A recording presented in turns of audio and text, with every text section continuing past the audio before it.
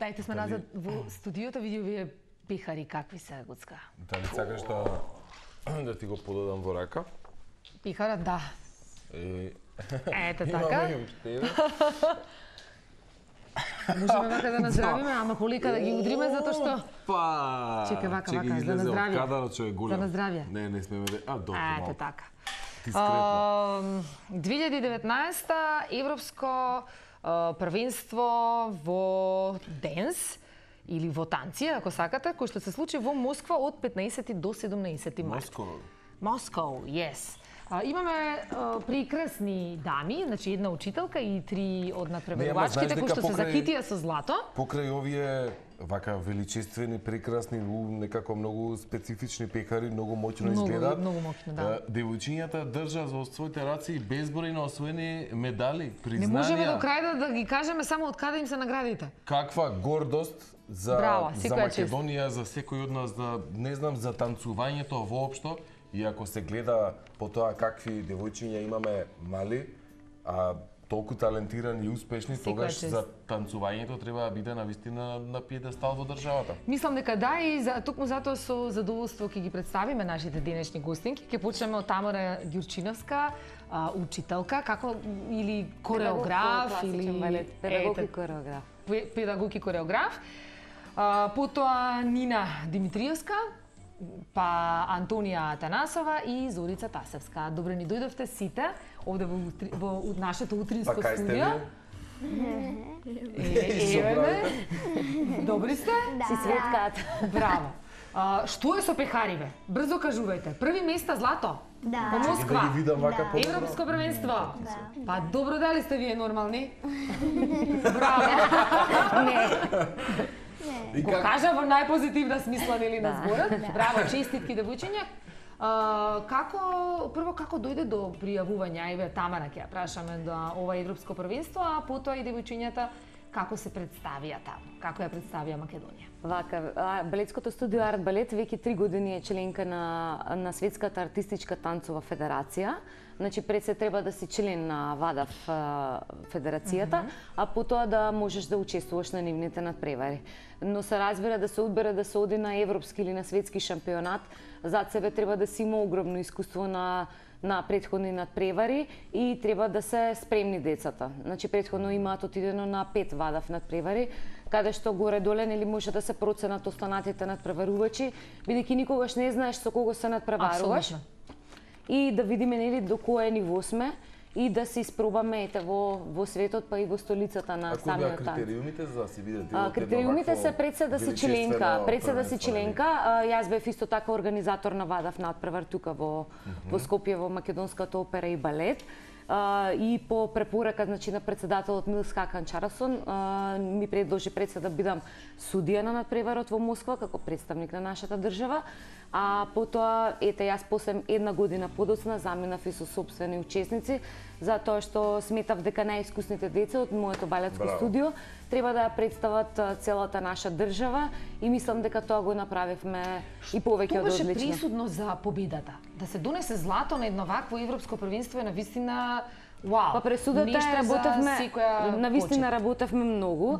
а, морам да поздравам дека имаме а, дека имаме стручно лице по акробатика, пред се се надпреваруваа во класичен балет, во джез балет и во акробатика. Значи ги одбравме токму овие три танцови стилови, бидејќи на нив работевме наназад година и пол дена. Еве сте вие, се Да. надевам со пехарите. се гледа и, и На среќата на нашите лица, да. така е, така е. И на вистина а, во акробатика успеавме да издвоиме да издвоиме осо- особен успех бидејќи работиме со Ерик Јанек Стапија, кој што е оригинално од Куба и кој што работи со децата и веќе во петок доаѓа да работи на новите сола со нив. А, и на вистина он е еден исклучителен професионалец кој што има работено пред се има работено за националниот тим во Куба а, како професионален гимнастичар, има огромно искуство зад себе бидејќи веќе на 50 на години по разни циркузи ни светот и на вистина неговата едукација заедно со со моите кореографии допринесе до една ваква победа. Бидејќи во акробатиката најчесто се употребуваат елементи а, ние внесовме и многу танци. Мислам дека е тоа она што не одвои. Да, имавме навистина изврсна техника бидејќи пред се со овие деца работиме класичен балет. А класичниот балет е основа на сите Браво, да. танци, а и на сите спортови. Во Русија е задолжително а, кога се тренира гимнастика или уметничко лизгање да имаат повеќе часови танца, исто така еднакво часови, нели дали е тоа уметничко лизгање или било кој друг. Ајде, јас би сакал да слушнеме збор два и од Антонија, Зорица и Нина, со кои да почнеме ципице со тебе. Може Как, како ти си помина во Москва? Ја многу го си помина, беше многу бав град. така. А со, со што се представи? Како беше чувството кога беше таму додека играше, додека танцуваше? Па, додека игра, се чувствував многу волшебно, као со другарките таму на сцена си играме заедно да се забавуваме. И да освоиме прво место и да бидеме среќни. Браво, а колку време се занимаваш со танцување? Мене, а, ова ми е шеста година. Може ли вака малце со рацете да подигнеш тамо да видиме да видат играчите што ле ле ле ле ле. Лелелелелеле, што е Чекај, ова? чекај, дај ми нешто вамо.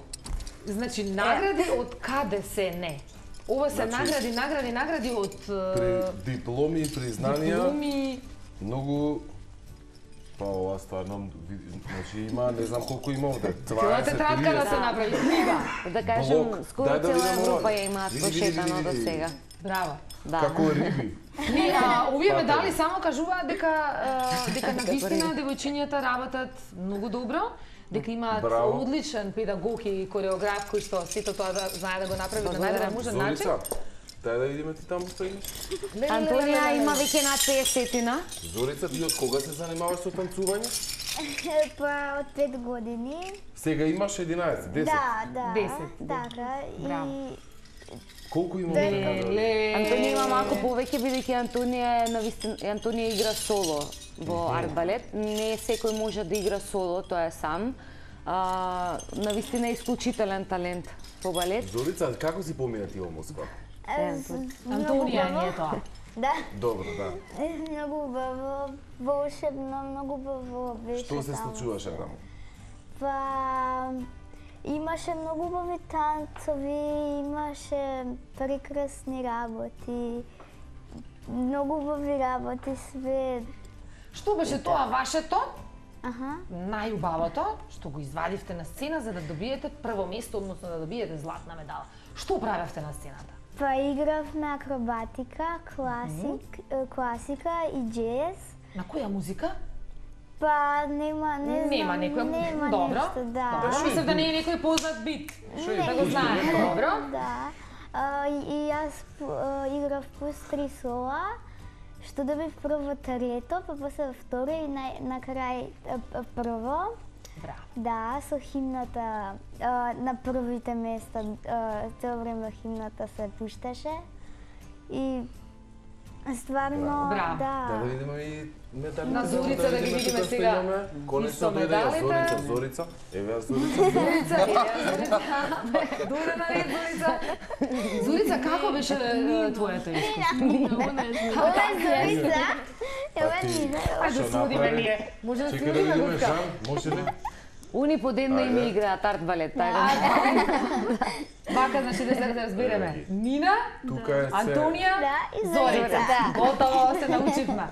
признанија колку сакаш. Еве да Нина ќе ни да наброи во колку држави до сега сме сме биле на надпревар. Ние сме биле во премногу ги држави, пред се во Москва, во Виена, во Австрија, во Грција, во Италија, во Србија, во Бугарија, Романија и премногу Леле, па сте си изнашитали.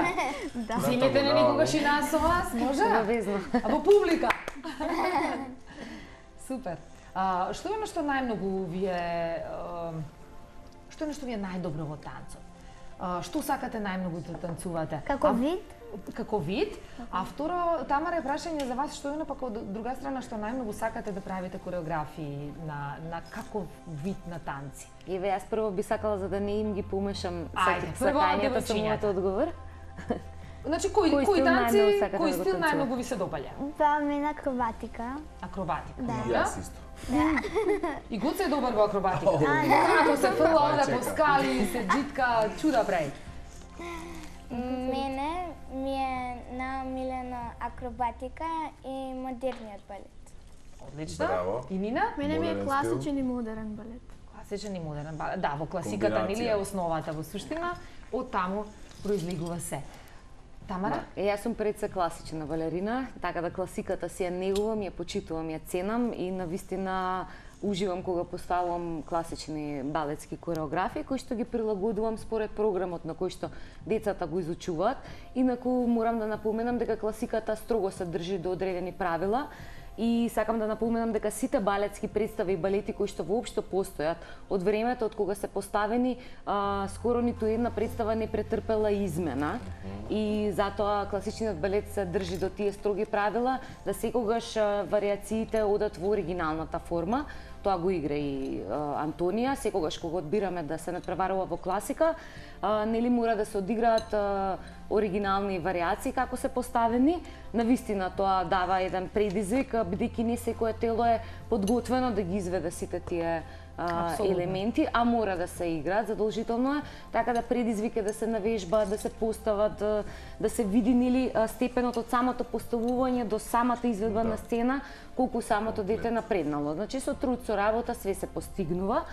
А, м, инаку најмногу сакам да креирам во современиот танц, бидејќи има најмногу слобода, а ипак е задржана класиката. А, има слободен израз да ги покажам собствените емоции, да ги покажам нивните емоции, да прикажам одредена состојба, одредена да, да, и преку самиот костим и преку самата приказна да, да, да се долови на публиката многу повеќе, бидејќи може да се вметне многу, гу- многу глума и многу емоции, а, но на вистина ете и акробатиката ми е а, предизвик, бидејќи јас ги комбинирам нели сите оние елементи кои што Ерик им ги поставува, морам да ги скомбинирам во одредена а, кореографија и да бидат одредена приказна, а и воедно да се осмислат костими, бидејќи сето тоа го правам јас. Да, да, комплетно треба да, е. И за нив, е, да, треба за нив ми е секогаш задоволство бидејќи бидејќи на вистина ми инспирираат и а, никогаш не треба да се подцени ниту еден играч. Значи во секое дете може да се најде одреден сегмент, одредена а, точка, одреден клик Што му лежи. што точно што, Што му лежи. А, но мора да се почне од класиката. Не секоја од нив три е исклучително талентирана за класика. Значи можам да напоменам дека Антонија на вистина исклучителен талент, а, исто така и Зорица и Антонија имаат а, своји врелини, а, но повеќе ете а, може да се искажат во джез балетот, со таа основа од класичниот балет, па и во акробатиката и тоа е она што ги што го прави овој тим посебен, бидејќи сите три на вистина го даваат максимумот од себе. И не секогаш талентот е, е, е клучен во победата, Добро, туку и и самото нели, искуство, начин да. Јас сум видела на вистина и, исклучително и талентирани натпревари. деца на сцена, но имаат трема а, или немаат некој посебен израз на лицето. А, кога кога се работи сцена, кога се работи танц, мора да се вклучат Па сите мора, тие да. елементи, да. Каде Да се види емоција. Еве, ние овде, како, како земја, затоа што вие бевте и на Европско првенство, па во споредба со Да другите. ви кажем дека ние сме на многу високо, исклучително ниво. Еве тренувајќи имаме на вистина деца кои што се докажале многу во танцот и во а, и во други земји во кои што моментално работат. Морам да ги поздравам Марко Мицов кој што е во во Америка, кој што исклучително работи во со познати компании, Стефанија Гаштарска која што учи на на Ваганова академијата, која што е исклучителен балетски талент и многу многу други ете Игор Киров.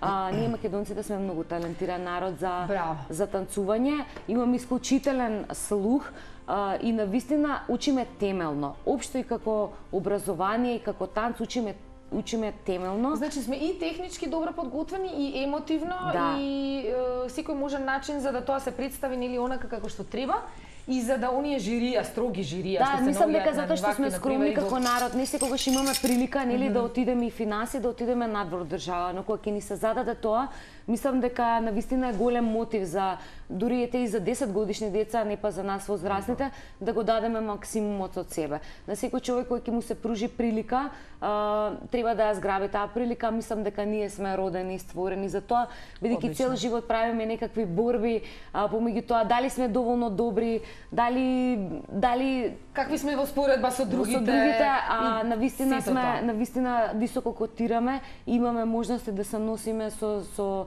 со светските танцови случувања, бидејќи на вистина имаме многу талентирани деца, имаме многу талентирани кореографи, а, имаме на вистина вродена амбиција во самите нас, да кога ќе ни се зададат тие три минути да ги да ги да ги искористиме максимално. Така, Може вака ние со да поздравиме, јас да. си го земав повторно Затоа што пехарот. Навистина заслужуваат Види да колку интересен со да звездичките. Многу убави пехари, многу, на Многу вистина. успеси понатаму уште, многу Многу европски. Тоа е за европски многу шампион. Антонија во модерен балет, го освои Браво. како солиста и на вистина ми е драго затоа што за прв пат имавме прилика да се свири химната дури три пати. Зад Е. Да, да иде знамето зад и химната на овие три деца и на вистина е посебно чувството бидејќи за да се стигне на на вакав еден европски шампионат треба да се оди на многу надпревари. Значи ние сме били на обични настапи, на фестивали танцови, на аматерски надпревари, на, на професионални надпревари. си Точно, тоа е она одскочена даска која што не донесе тука. Многу убав пехар. Многу интересен, стварно. Сите се прекрасни. Да, они не сака, дури сака да да спијат со нив, мислам на вистина беше Пијат. посебно О, доживување. вака, гушнете си го пехарот и... Па Така? Да, и кога, од кога заврши сите три велеа, ова Тамара е најубавиот надпревар, и на вистина е најубав надпревар. Они како имиња не секогаш ги паметат, сме биле на тој тој надпревар. Они ги паметат градовите, ги паметат сцените, Апсолутно. ги паметат нели наградите што ќе ги Ви добијат. посакувам уште многу, многу успеси. И Тамара, пред се на вас како добар педагог и кореограф, девојчиња, пред вас стои на вистина една светла иднина со оглед на тоа дека ова што го видовме до сега е многу, па тек натаму.